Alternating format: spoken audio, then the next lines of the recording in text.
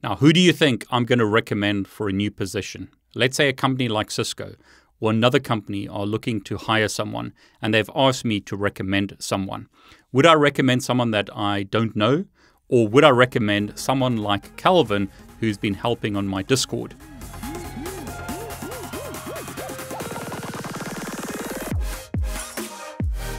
Yesterday, I spoke about how you can change your life and receive more by giving, and Kelvin is a great example of that.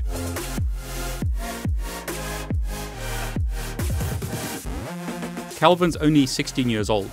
He's a young person, but he's already got his CCNA, CCNP, and other certifications. In other words, a big tip for if you want to hack your career or take your career to the next level or open doors, whichever term you want to use, is help someone and they will help you.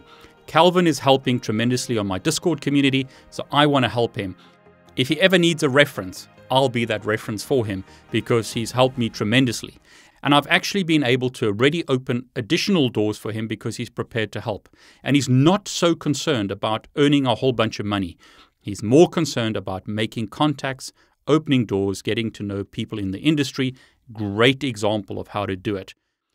I wish I had started when I was his age. I started much later in life. I had already worked in a retail environment for a number of years just to cover the bills. I had to do a whole bunch of stuff before I could actually start my networking career. He has done it right. He started when he was very young. Before he's graduated, he's already getting known in the industry. Fantastic way to do it. But in addition, he's not letting a lack of experience stop him. You know what it's like. A lot of companies will advertise you need to have five years of experience or 10 years of experience for a junior position, some ridiculous amount of years of experience. He is already building experience and building references and building contacts before he goes full time. Now, a lot of the advice that I'm going to give you depends on where you are in your career. Kelvin is an example of someone who's in the beginning of their journey.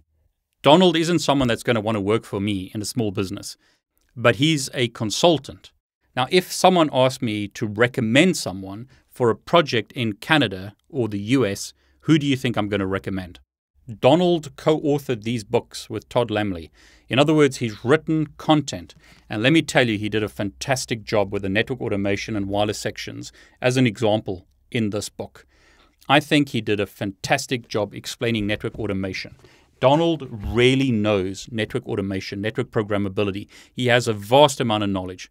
But how do I know that? Because I've seen his work. I've seen what he's written in these books. I've seen what he's published on his YouTube channel.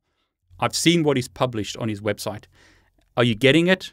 You need to be able to demonstrate your work. So put your work online so that people can see what you've done. Before we go any further, I need to say this. First thing is you must believe in yourself. I've said this before in other videos, but it's so important. I'm going to say it again. You must believe in yourself. Ignore the haters, ignore the doubters, ignore anyone who's told you that you're not good enough or you're stupid or you can't do it. Ignore those people. Spend time with people that build you up. Spend time with people that help you grow. Don't have friends that drag you down. Make friendships with people that can help you reach your goals. I was told many times in my life, David, you can't do it. David, you are this type of person. And then they try and put me in a box. You too young. You too old. You have the wrong accent. You from the wrong country, you from this, that, or the other. Ignore all that nonsense. Don't let someone else tell you what to do with your life. You are responsible for your own life. You are responsible for your own decisions, not your parents, not your friends. You are responsible. So that means there's two parts to this. Number one, you can decide where you want to go. And number two, you're responsible for the decisions that you make. You are responsible to make the right decisions for yourself and your family. It's not going to always be easy. I never said it was. I've been through some hard times in my life. I've done some really terrible jobs. But let me tell you, if you keep on grinding, you work hard, you focus, you know where you're going, doors can open for you and you can change your life. There are so many examples out there of people who have changed their lives by making a decision and sticking to it. And let me just say, making a decision is one thing, putting in the work is what really counts. You might have a goal, and it's important to have a goal, but you've got to do the work to get you to that goal. Here's a great example this bookshelf behind me. Very intelligent bookshelf. It's a very intelligent bookshelf because there are a lot of very interesting books on the bookshelf. That's not going to help me. I need to read those books and get that information into my head. You've got to put in the effort and read the books, study the courses, watch the videos, etc., to make things happen. And I'm not telling you where you should go. If cybersecurity, ethical hacking, that type of thing is what you want to do, then spend time on things that get you where you want to go. If you want to be a network engineer, then spend time on things that get you to that goal. I'm sorry, but don't have excuses in 2021. You are responsible for your decisions. I probably don't have to tell you this, but the world has changed dramatically in the last few years with the rise of social media. In many cases today, the hurdles or the barriers of getting to a decision maker have been removed, rather than having to go through a whole bunch of gatekeepers to get to someone who makes a hiring decision. You can circumvent all of that through social media. You can very quickly jump the queue, if you like, by making good contacts in the industry. Make sure that you contribute to the community because if you are a good contributor to the community, it will open up doors for you. Here's a great example Cisco Champions. Small group of selected individuals that get early access to content and information from Cisco. To join this program, you need to have some kind of social following. Now, you don't necessarily have to have a massive following. So, you don't have to be a NetworkChuck, as an example. You might just have 100 followers. You might just have 500 followers. It doesn't matter. The point is is that you're contributing to the industry, you are helping people, and that will allow you to join a program like this. And let me tell you, programs like this from Cisco are fantastic. Lauren, who runs this program, is amazing. She really cares about the people on the program. And guess what? She's someone who works for Cisco. She can give you advice if your goal is to work at Cisco. She could perhaps, and there's no pressure on her by me saying this, but she could perhaps introduce you to someone who could introduce you to someone who could get you hired at Cisco. And I'm not saying that that's what she's going to do. The point is, is if you make contacts, if you make friends with people in the industry, your chances of getting hired in a specific industry go up exponentially. Make sure that you create content and share your knowledge with others in the industry, and opportunities will come to you. Now, you may be stuck in a dead end job somewhere, but what are you doing after work? What are you doing on weekends? Are you studying? Are you making contacts in the industry? Another example is someone who asks for advice when they try to get into the cybersecurity sphere. And I'm going to give you these career hacks to help you if you're trying to move from one type of job to another, so you're trying to break into the cybersecurity industry or networking industry, whatever it is, and you don't have a job role that allows you to build up experience in that arena, then number one, help others so that they will recommend you. If this person ever asked me to be a job reference for them, I would be because they've helped me again in my Discord community and they've helped others.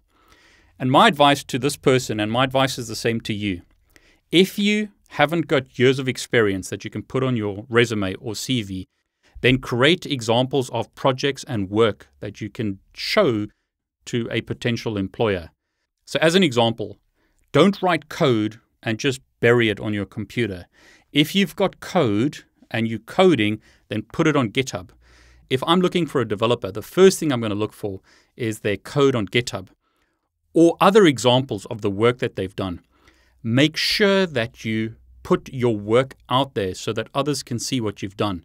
So if it's code, put code on GitHub. If it's projects that you've worked on, put examples of your projects on your LinkedIn profile or on social media so that people know the stuff that you're getting up to. Make sure that you've updated your LinkedIn profile with any projects that you've worked on. So let's say you helped a small business or a school implement a network, or you helped troubleshoot something at your church. Think about what's happened in 2020. Churches have had to move online. A lot of small businesses have had to move online. That means that there are more opportunities to help small businesses, help churches and other organizations better manage their IT infrastructure. So volunteer to help them. If you've helped them with their Zoom conferences, or you've helped them build a website, or you've helped them deploy a network, put that on your resume, put that on your LinkedIn profile, and make sure that you list the projects that you've worked on. It doesn't matter if it's small, make sure that your LinkedIn profile is up to date. Because think about it if you are applying for a job, an employer is going to look online at your social media profiles. They're going to do it. So, what are you posting on Facebook? What are you posting on Instagram? What are you posting on LinkedIn and other places? Can I see examples of what you've done? So, very important, make sure that you can practically demonstrate your skills. Don't tell me on a resume that you understand OSPF or BGP. I'll know that you know those technologies if I read your blog post or if I watch a YouTube video where you explain this stuff. Kelvin is explaining MPLS in a YouTube video. Just by watching that video, I already know his level of knowledge. So, practically demonstrate your knowledge on social media. That's a fantastic way to open doors. I've had a lot of people ask for this, so here we go. Two people are going to win this Alfa network adapter. Fantastic network adapter. This is my favorite network adapter when it comes to hacking with Kali Linux or Kali Linux, if you prefer fantastic network adapter. And then two people are going to win this network adapter. This is one of those network adapters that works really easily with Kali. This network adapter requires a bit of work, but this is more powerful because it supports 5 gigahertz. Very, very nice network adapter. Okay, so the way this is going to work is I will give two people a $100 Amazon e-gift to buy one of these. That should cover the cost of the network adapter and all or part of the shipping costs to get it to you. And then for the other network adapter, I'm going to give two people a $50 Amazon e gift, which they can use then to buy that network adapter. And that will also cover the cost of the network adapter and all or part of the shipping costs to get it to you. Okay, so four people will win Alfa network adapters during this giveaway. Now, another tip with hacking your career is follow the trends. And I'm not talking about micro trends. Don't just run after the latest thing and say, Ooh, this is a fantastic technology. I must learn this. Look at the long term trends. So don't just run after the hottest thing at the moment, even though that does help in many cases. I believe in riding waves. I've mentioned this before ride the waves. Look at the big technologies that are changing the world. As an example, voice over IP which I got into many, many years ago. Another technology was network automation or network programmability. I got on that wave early with OpenFlow. OpenFlow kind of died, but my time studying that wasn't wasted because it helped launch me into the network automation stuff. So ride the waves. And with that in mind, I'm going to be giving away my Linux for Network Engineers course. So use the link below if you want to win access to my Linux for Network Engineers course on Udemy.